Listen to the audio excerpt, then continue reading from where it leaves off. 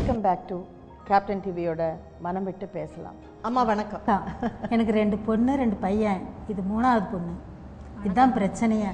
என்ன பிரச்சனைமா இவங்க சம்சாரம் வந்து இவங்க வீட்டுக்காரர் கூட்டிகிட்டு போயிடுச்சு அவருடைய சம்சாரம் வந்து இவங்க வீட்டுக்கார கூட்டி ஆமாம்? கூட்டிகிட்டு போயிடுச்சு ரெண்டு வருஷம் ஆகுது. ஓ. முன்னால் முன்னால் வீடு. ஒருத்தருக்கு ஒருத்தர் அக்கா தங்கச்சி மாதிரி பேசிட்டு பழகிட்டு இருந்தாங்க. அப்புறம் அவன் கூட்டிகிட்டு போயிட்டாப்படி கூட்டிகிட்டு போய் இப்போ ரெண்டு வருஷம் ஆகுது. ஏன்பா உனக்கு உங்க வீட்டுக்காருக்கு ஏதாவது பிரச்சனை இருந்ததா? பிரச்சனைலாம் எதுவும் இல்லைங்க மேடம். ரெண்டு அவங்க குழந்தைங்க ரெண்டு குழந்தைங்க விட்டுட்டு எங்கள் வீட்டுக்கார கூட போயிடுச்சுங்க மேடம். குழந்தைங்க விட்டுட்டு போயிடுச்சா? ஆமாம் அவங்க குழந்தைங்க நல்லா சிகப்பு அழகாக இருப்பாங்க மேடம். எங்கள் வீட்டுக்கு வரும் போகும் எங்கள் வீட்டில் தான் இருக்கும் விளையாண்டுட்டு இருப்பாங்க. அதில் அந்த குழந்தையெல்லாம் எடுத்து பழக பிடிக்க பழக்கம். இந்த இந்த தம்பி எங்கள் வீட்டுக்கு வரும் என்கிட்டலாம் பேசும் பிடிக்கும் எங்கள் வீட்டில் எது பழக தான் வீடுங்க மேடம். ஒரு ஃப்ரெண்டாக தானே இருக்க முடியும். ஒரு வீட்டில் பக்கத்தில் இருக்கும்போது அந்த குழந்தை எங்கே போனாலும் என்கிட்ட தான் விட்டுட்டு போவாங்க எல்லாமே செய்வாங்க. என் குழந்தைங்க மாதிரி தான் அந்த குழந்தைங்கள பார்த்துட்டு இருந்தேன் மேடம் உங்களுக்கு குழந்தைங்க இருக்கா? ஆ பொண்ணு ஒன்று பையன் ஒன்று இருக்கு மேடம் ஒரு பொண்ணு ஒரு பையன் அப்படி இருந்துமா விட்டுட்டு போயிட்டேன் ஆமாம் இவர் பண்ணுறது நடவடிக்கை பிடிக்காம எங்கள் பொண்ணு லவ் மேரேஜ் பண்ணிக்கிச்சிங்க மேடம் லவ் மேரேஜ் பண்ணிக்கிச்சு. உங்க பொண்ணா? பொண்ணையை கெ கெடுக்க முயற்சி பண்ண அப்படி. யாரு? அவர். இவர். அப்புறம் பொண்ணை போய் லவ் மேரேஜ் பண்ணி கல்யாணம் பண்ணி வச்சு ரெண்டு குழந்தை இருக்குது இப்போ. பெத்த தகப்பனே வந்து பொண்ணை கெடுக்க ட்ரை ஆமாங்க. அவங்க ஃப்ரெண்ட்ஸுங்கெல்லாம் சொல்லி கொடுத்தாங்களாங்க மேடம் என்னென்ன? அவங்க பொண்ணு அம்மா அம்மா உன் கூட தானே இருக்குது பொண்ணு எடுத்துரு அப்படின்னு சொல்லி. அம்மா வீட்டில் தானே இருக்கு பொண்ணுன்னு சொல்லிட்டு பெத்த தகப்பனே வந்து ஒரு பொண்ணை ட்ரை பண்றாருன்னா அது என்னங்க நீங்க? பொண்ணு என்கிட்ட கடைசி வரைக்கும் சொல்லவே இல்லைங்க மேடம் இன்னும் கல்ல இது வரைக்குமே என் சொல்ல எங்கள் அம்மாட்ட தான் சொல்லியிருக்குங்க மேடம் அப்பா அப்பா உங்க அப்பா கஷ்டப்படுத்துறதுன்னு அவளுக்கு சொல்ல வர இன்னும் இது வரைக்குமே எங்கள் பொண்ணு என்கிட்ட சொல்லைங்க மேடம் அப்பா இப்படி என்கிட்ட தப்பாக நடக்க முயற்சி பண்ணுறாருன்னு சொல்லவே இல்லைங்க மேடம் பக்கத்துலேயே போட்டு படுத்துக்குவோம் அப்படி. நான் திட்டுவும் போனால் திட்டுவேன். இப்பெல்லாம் பிள்ளைய விடாத பக்கத்தில் விடாத விடாதன்னு திட்டுவேன். பொண்ணுக்கு வந்து அது பிடிக்காம அதே போயிருச்சு அதே போய் லவ் மேரேஜ் பண்ணிச்சு. என்ன வயசு அவளுக்கு? இருபத்தி ரெண்டா இப்போ இருபத்தி நாலு நடக்குதுங்க மேடம். பத்தொம்போதில் பண்ணிட்டாங்க மேடம். நல்லா இருக்காங்க நல்லா நான் எதுவும் போய் கம்ப்ளைண்ட்லாம் பண்ணல. இந்த மாதிரி எங்க அப்பா இது மாதிரி பண்ணாரு எதுவுமே பண்ணலைங்க மேடம். பத்தொம்பது வயசு இருக்கிற வரைக்கும் என்கிட்ட எதுவும் சொல்லாமே இருந்துச்சு. அப்புறம் போய் ரிஜிஸ்டர் மேரேஜ் அவங்க ஃப்ரெண்ட்ஸ் எல்லாம் வச்சு ம். எல்லாம் எங்கள் மருமக இவருக்கும் ஃப்ரெண்டுங்க வச்சுக்கோங்களேங்க மேடம். பக்கத்தில் தானே இருக்காங்க எல்லாம். அந்த பொண்ணு இவங்க ஒய்ஃப் எங்கள் வீட்டுக்கு வர போக இவங்ககிட்ட பழக்கம் வந்து எங்கள் வீட்டுக்கார் முஸ்லீம் மேடம். நாங்கள் இந்து முறைப்படி கல்யாணம் பண்ணிக்கிட்டோங்க மேடம். அது அப்புறம் அடிக்கடி சவுதிக்கு போயிட்டு வர பழக்கமாக இருந்து பணம் அதிகமாக புழங்குறதுனால இவங்க இப்போ இவங்க ஒய்ஃப் எங்கள் வீட்டுக்கார் மேலே ஆசை வச்சுட்டு ரெண்டு பேரும் பழக்கம் ஆயிட்டு ஓடிட்டாங்க. ஒரு டைம் ஓடிட்டு முஸ்லீமா? உங்களுக்கு ரெண்டு குழந்தைங்க. பையன் ஒன்று பொண்ணு ஒன்று உங்க குழந்தைங்க உங்க கூட இருக்கு? இல்லை கேரளாவில் இருக்குது யார் கூட? அவங்க எங்கள் மாமனார் வீட்டில் இருக்குது உங்க மாமனார் வீட்டில் இவ போகிறப்போ பையனை விட்டுட்டு புள்ளைய தூக்கிட்டு போயிட்டா. நாலாம் நாள் பக்ரீத் பண்டிகை. அப்புறம் அவனுக்கு துணி புது துணி கூட எதுவும் எடுக்கலை. நானும் பையனை கூப்பிட்டு வேலைக்கும் போயிட்டேன். மனசு வேற சரியில்லை. சரி நான் வேலைக்கு போயிடலாம் அப்படின்னா அவனுக்கு துணியை மாற்றி விட்டு கூப்பிட்டு போயிட்டேன். கூப்பிட்டு போனால் அப்புறம் பண்டிகைனா இப்போ இந்து பண்டிகைனா முஸ்லீம்ங்க எல்லாரும் எல்லாரும் கூப்பிடுவாங்க. இருந்து கூப்பிட்டு ஏதாவது ஒன்று சாப்பாடு போடுவாங்க. அக் அண்ணன் அக்கம் பக்கமாக அண்ணன் தம்பிங்க எல்லாமே இருக்கிறாங்க. என் பையனை கூட யாருமே வந்து வந்து சாப்பிட்றா அப்படின்னு யாரும் கூப்பிட்டதில்ல. நீங்க போய் மாமனார் மாமியார் வீட்டில் குழந்தைங்கள பாக்குறீங்க. பார்க்க விட மாட்டேங்கிறாங்க. பார்க்கவும் விட மாட்டேங்கிறாங்க ஃபோனும் கொடுக்கறதில்ல. பிள்ளைங்கள்ட்ட பேசுறது.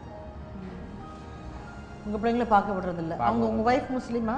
நான் முஸ்லீம். கேரளாவில் கல்யாணம் பண்ணேன் அப்ப நீங்க சட்டப்படி கேட்கலாம்ல குழந்தைங்க நீங்க பார்க்கணும்னு ஆசை இருக்குன்னு கேட்கலாம்ல. அது வீடு எங்கள் இந்த மாதிரி பண்ணிட்டு போனான்ல வீடு வந்து நான் அங்கே இருக்க பிடிக்கல.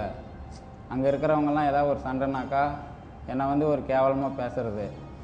ஆம்பளை இல்லைங்கிற மாதிரி பேசுகிறது நானே அவங்கள்ட்ட பதில் பேசிட்டேன். நான் பேசுனது வந்து தப்பான முறையில் அவங்களும் பேசினாங்க நானும் தப்பான முறையில் அவங்கள்ட்ட பேசிட்டேன். அது நான் குடும்ப பிரச்சனை எல்லாமே அங்கே இருக்கிறவங்களுக்கே தெரியும்.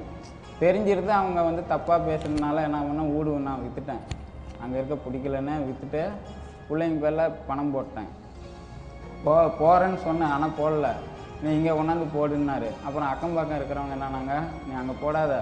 பொண்ணு ஒன்று இருக்குது. அப்புறம் நாளைக்கு கல்யாணம் பண்ணி கொடுக்குறப்போ பொண்ணுக்கு எதாவது தேவைப்படும். அந்த ஆள் வாங்கிட்டு போய் பணம் போட்டாருன்னா பரவாயில்ல. செலவு பண்ணிட்டாருன்னா நீ நாளைக்கு பொண்ணு கல்யாணம் பண்ணக்குள்ள என்ன பண்ணுவ? அப்படின்னு சொல்லக்குள்ள நான் இங்கே தமிழ்நாட்டிலேயே பணம் போட்டேன். அந்த பணம் போட்டதுலேருந்து இப்போ வந்து குழந்தைங்கள்ட்ட வந்து ஃபோன் கொடுக்கறதில்ல. தே ஃபோன் பண்ணால் எனக்கு கண்டபடியாக திட்டுறது. ஆனால் இப்போ ஒரு மூணு வருஷமாக ஃபோனே கொடுக்கறதில்ல. இப்போ எங்கள் வீட்டில் ஊருக்கு போயிட்டு வந்தாருங்க. வந்துட்டு இப்போ ரெண்டு ரெண்டரை மாதம் ஆகுது. ஊர்லேருந்து வந்து ஒரு ஃபோன் இல்லை ஃபோன் நம்பர்லாம் மாற்றிட்டாங்க. அவளை வீடு எடுத்து நாமக்கல் வச்சுட்டு இப்போ அவளை சவுதிக்கே கூட்டிகிட்டு போகிற மாதிரி எல்லாம் ஏற்பாடு பண்ணிட்டு வந்தாச்சு. இனிமேல் இங்கே இந்தியாவுக்கே வரக்கூடாது அப்படின்னு எல்லாம் ஏற்பாடு பண்ணிட்டு வந்துட்டாங்க. அவங்க ஃப்ரெண்ட்ஸுங்களாம் சொன்னாங்க நானும் சரி ஏதோ வந்துட்டா குழந்தைங்கள விட்டுட்டு இருந்துட்டு போகட்டும். ரெண்டு பேருமே தப்பு பண்ணிட்டு போயிட்டாங்க. என்ன பண்ணுறது அவ அவங்க வீட்லேயும் வச்சுக்கல இவனும் வேணான்ட்டாரு.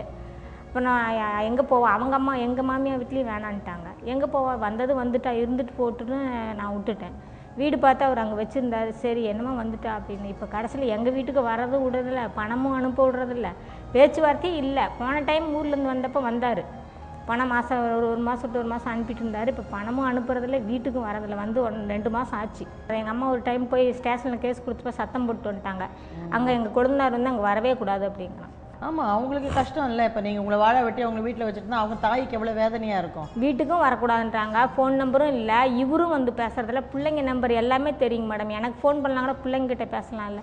பிள்ளைங்க இந்த ரெண்டு பிள்ளைங்களுமே இது வரைக்குமே அப்பா வருவார். நீங்கள் பேசாமல் இருங்க. வீட்டுக்கு அங்கே போகாதீங்க. இங்கே கூட வர தான் சொன்னாங்க மேடம் ரெண்டு டைம் கேஸ் கொடுத்து அடங்க மாட்டேங்கிறாங்க. இப்போ ரெடி பண்ணிட்டாங்க. நானும் வக்கீல மாட்டேன் கேஸ் கொடுத்துருன்ட்டு இங்கே வரேன்னு சொல்லிட்டு இருந்தாங்க மேடம் இங்கே போயிட்டு வந்துட்டு நீங்கள் கேஸ் கொடுத்து பாஸ்போர்ட் பிடிங்கி வைக்க ஏற்பாடு பண்ணிக்கலாம். நீங்கள் அங்கே போயிட்டு வாங்க முதல்ல.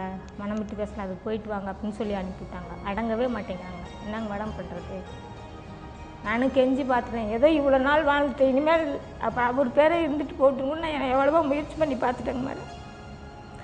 வீடு நிலம் நகை எல்லாமே விற்று எடுத்துட்டு அவளை கூட்டிகிட்டு போயிட்டாங்க மேடம். வீட்டில் கட்டின துணிமணி ஒன்று தான் மேடம் மீதி. இருபது வருஷமாக சவுதிக்கு போகிறாரு மேடம். வீட்டில் எதுவுமே இல்லைங்க மேடம். துணிமணி ஒன்று தான் மீதி. என் பிள்ளைங்களுக்கு இன்னும் ஒரு கிராம் தங்கம் எடுத்து போடலைங்க மேடம். சவுதியில் இருக்கிறாங்க பேருக்கு தான்.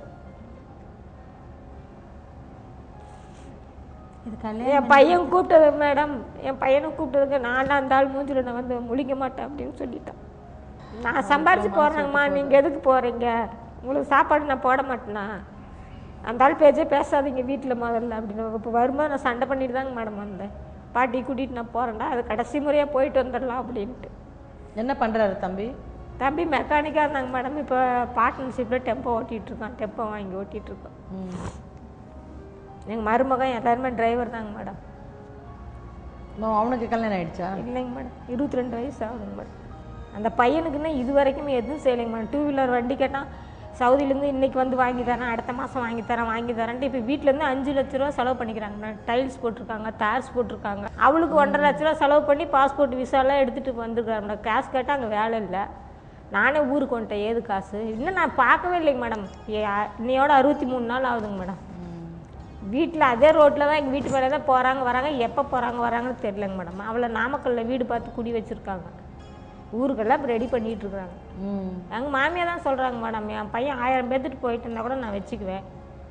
நீ வராத என் ஹாஸ்பிட்டலுக்கு நீ வராத உன்னை நான் ஏற்றுக்க முடியாது. ஏன் நீங்க நல்லா ஒழுங்கா கல்யாணம் பண்ணி குடுத்தனம் பண்ணிருக்கீங்க இருபது வருஷம். ஏன் நீங்க வரக்கூடாது? அதான் அவங்க சின்ன தம்பி ஒரு பொம்பளை நர்ஸ் பொம்பளை தொடர்பாகிறோமா அந்த பொம்பளை சம்பளம் வாங்கிட்டு வீட்டுக்கு வேணுங்கிறதெல்லாம் வாங்கிட்டு போனால் அந்த பொம்பளை உள்ளே வச்சுக்கிறாங்க மேடம். என்ன வீட்டு பக்கமே வரக்கூடாது. வீட்டு வந்து நின்று கூட நீ கேட்கக்கூடாது அப்படின்னு சொல்கிறாங்க மேடம். அவங்க தம்பி அவங்க அம்மா எல்லாம் ஃபுல் சப்போர்ட்டுங்க மேடம். பேசக்கூடாது. அவங்க வரக்கூடாது. நீங்கள் எதுக்கு வரீங்க? உங்க ஒய்ஃபை தானே இப்ப அவர் வந்து கூட்டிட்டு போறாரு சவுதிக்கு? நீங்க என்ன பண்ண மேடம், போறீங்க? இது வந்து இவன் ஒரு வருஷம் அந்த ஆள் வேலை வெளியூர் போயிட்டு வந்து ஒரு வருஷம் வேலைக்கே போகல. வெளியூர் வேலைக்கே போகல. அவங்க அப்பாவுக்கு உடம்பு சரியில்லைன்னு இங்கே தங்கிட்டான். அந்த இதில் நூ நூறு இரநூறு முந்நூறு ஐநூறு எவ்வளோ கேட்டாலும் நான் வந்து இந்த பழைய இரும்பு வியாபாரத்துக்கு நான் போயிட்டு இருந்தேன். அப்போ கேட்டாக்கா நான் கொடுத்துருவேன். என் ஒய்ஃபு தான் கேட்பா. இந்த மாதிரி அந்த அண்ணன் கேட்குறாங்க அந்த அக்கா கேட்குறாங்கன்னு இருக்கிறப்பெல்லாம் கொடுப்பேன். சரி இப்போ என்ன பண்ணுறது நல்லா சம்பாதிச்சவர் சரி நம்மள கேட்குறாரு அப்படின்னு கொடுத்தேன். அப்புறம் ரம்ஜான் பண்டிகை அப்போ கூட அரிசி நிறையா ஒரு ஏழு கிலோ அரிசி வாங்கி அவங்க அந்த ஆளோட குடும்பத்துக்கு எல்லாத்துக்கும் ஆக்கி கொடுத்து நான் போனிலே அனுப்பிவிட்டேன். அண்ணன் மாதிரி நினச்சி நான் எல்லாம் செஞ்சேன். அன்னமிட்ட கைக்கு துரோகம் நினைக்க கூடாதுன்னு சொல்லுவாங்க. அந்த மாதிரி நான் நினச்சி செஞ்சேன். இவன் அந்த ஆள் வந்து இப்படி பண்ணிட்டான் போகிறப்போ பிள்ளைய கூப்பிட்டு போயிட்டான். கூப்பிட்டு போய் அப்புறம் நான் என்ன பண்ணேன்? பசங்களை கூப்பிட்டு போய் அவங்க அப்பா இறந்துட்டாங்க. போ அவங்க கூப்பிட்டு போய் மூணாம் நாள் அந்த ஆளோட அப்பா இறந்துட்டாரு. அந்த மூணாம் நாள் சாயங்காலத்துக்கு வந்திருந்தார். அங்கே இருக்கிறவங்க எனக்கு ஃபோன் பண்ணாங்க. இந்த மாதிரி அந்த ஆள் வந்திருக்கிறான். நீங்கள் வந்தீங்கன்னா அவனை பிடிக்கலாம் அப்படின்னு சொன்னோன்னே நான் பசங்களெல்லாம் கூப்பிட்டு ஒரு மூணு நைட்டு மூணு மணிக்கு போனேன். போய் அப்புறம் நான் அஞ்சு மணிக்கு ஃபோன் பண்ணாங்க. இந்த மாதிரி அவன் சுடுகாட்டில் இருக்கிறான் அப்படின்னு. பசங்களெல்லாம் கூப்பிட்டு போய் அவனை அடித்து போய் பிள்ளைய மட்டும் கூப்பிட்டடா. அவன் எனக்கு தேவையில்ல. என் பிள்ளை எனக்கு தேவை. அப்படின்னு சொல்லி பசங்களை விட்டு அவனை அடித்தோன்னே அப்புறம் பிள்ளைய கூப்பிட்டு வந்து கூப்பிட்டானுங்க. நான் பிள்ளைய கூட்டிகிட்டு வீட்டுக்கு வந்துட்டேன். வீட்டுக்கு வந்துட்டோன்னே அப்புறம் அவனும் வந்துட்டான். மறாறு நாள் வீட்டுக்கு வந்துட்டா இந்த மாதிரி நான் தப்பு செய்யலை. நான் உன் கூட இருக்கிறேன். அப்படின்ட்டு வந்துட்டான் நானும் என்ன பண்ணுறேன் அக்கம் பக்கம்லாம் வேணாம் துரத்தி விடுனாங்க இப்போ அண்ணன் தம்பிங்களும் எவனும் பார்க்க மாட்டாங்க என் பிள்ளைங்கள. ஒரு நேரம் சோறு கூட போட மாட்டாங்க. அவங்களும் துரத்தி விடுனாங்க எனக்கு என்ன தேவை? என் பிள்ளைங்களுக்கு அம்மா தேவை. ஆனாலும் நான் வச்சுக்கிட்டேன். சரி இருக்கட்டும் போ அப்படின்னு வச்சுக்கிட்டேன். வச்சுக்கிட்டு ஒரு மூணு மாதம் ஒழுங்காக இருந்தா. அதுக்கப்புறம் செல்ஃபோன் ஃபோன் பண்ணுறது அது பண்ணுறது எதுக்கிட்டு ஃபோன் பண்ணுறேன்னாக்க நம்பர் கேட்டாக்க நம்பரும் காட்டுறதில்ல.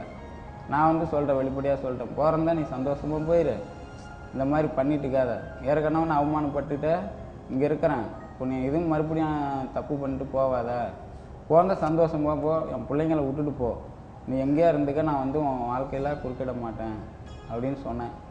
சரிங்க நான் எதுவும் பண்ணலைங்க ஒழுங்காக இருக்கிறேன் அப்படின்ட்டு சொன்னான்.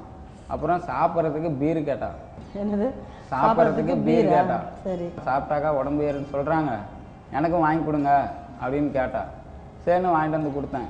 வாங்கிட்டு வந்து கொடுத்து காலைல வாங்கிட்டு வந்து கொடுத்தேன். மத்தியானம் பாதி சாப்பிட்டு வச்சுட்டான் நான் மத்தியானம் சாப்பாட்டுக்கு வந்தேன்.